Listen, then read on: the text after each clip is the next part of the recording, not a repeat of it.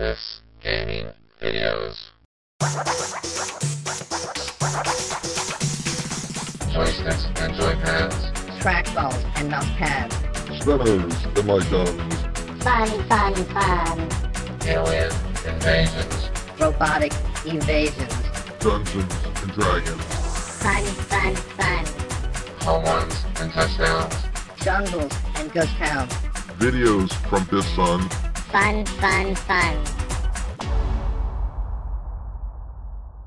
This is Miner 2049er starring Bounty Bob. This is an Atari 5200 game that was released and had a lot of neat things. Now the guy from Big Five Software, uh, Bill Hogg, he was doing a whole bunch of games for the Radio Shack TRS-80 and they were all like rip-offs of Asteroids and Missile Command and Berserk and so forth. And since the TRS-80 had gotten really low resolution and outdated, he decided to write 2049er for the Atari 800. But unfortunately, there was a production delay, so the game was then released for the Apple II first, and then it was ported to all these other systems. There was a sequel to this, uh, Bounty Bob Strikes Back, which also for the Atari 5200. Now, what's kind of interesting about this is that you've got high scores, you've got opening screen, and all of these levels, so it's kind of cool. It's got all of this stuff. And I think this game's a little overrated because you take a look at the graphics and they look kind of cheesy. The guy walking around Bounty Bob has got, you know, looks kind of cheesy and all these guys, and so that that's my big knock on the game.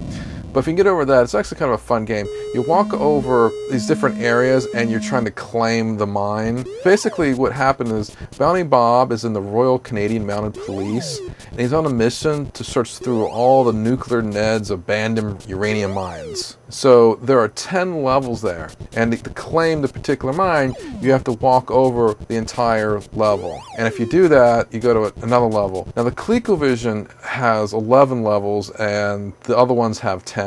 So this is a 10 level one, which by the way is a lot of levels for a system at that time. A lot of people really like this game, and also Bounty Bob Strikes Back was a, another uh, game. So if you played one you like, you can play the other one.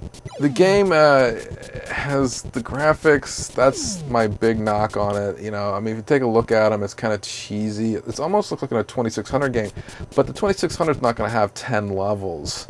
It would have one screen. The 5200 version has 10 levels, so that's really kind of cool for the time to have something with that many levels. Bounty Bob was uh, eventually years and years later. There were uh, sequels that came out for mobile phones later on, so the legacy still continues years and years and years later. As with a lot of the uh, old school games, someone is going to say, "Hey, I like that game," and they make a version. So you can still get this game today on a cell phone, depending on what cell phone you have. So here you go. You, you go up to the top and you try to finish up the entire level, and bam. You finish the first level and you go to the second level, another mine. And as you do this, the mines start having more and more things. This has ladders and chutes and so forth. So there's all these extra things that get added from level to level to level.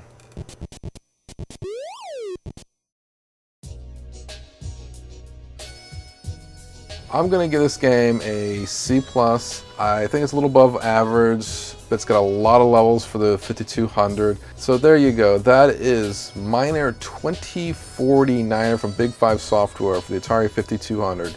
C plus.